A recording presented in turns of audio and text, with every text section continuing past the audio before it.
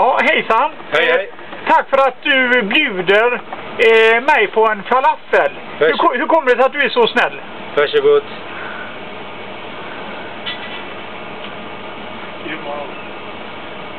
Hur är läget? Är bra?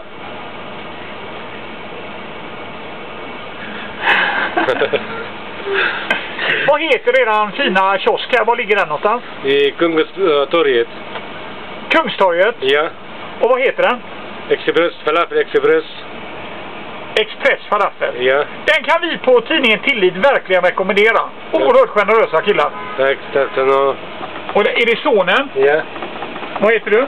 Mohammed heter jag. Ja, tack.